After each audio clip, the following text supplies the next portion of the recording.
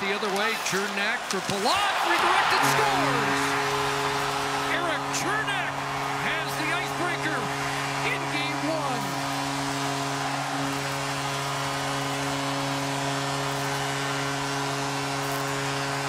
Chris, you mentioned the importance of the first goal, and it's now something that 12 of the wins have all come from the first goal for Tampa Bay. The one thing you can't do against this team is turn the puck at the offensive blue line over. You can see the quick transition going through the middle, and that's just a little bit of a late pickup through the middle of the ice. Cernak hesitated for a second, but when the lane opened, Palat's got his head up, stick on stick. Petry's a little late getting there, and then up and over the glove of Price. Not the guy you probably picked to score the game's first goal, but Cernak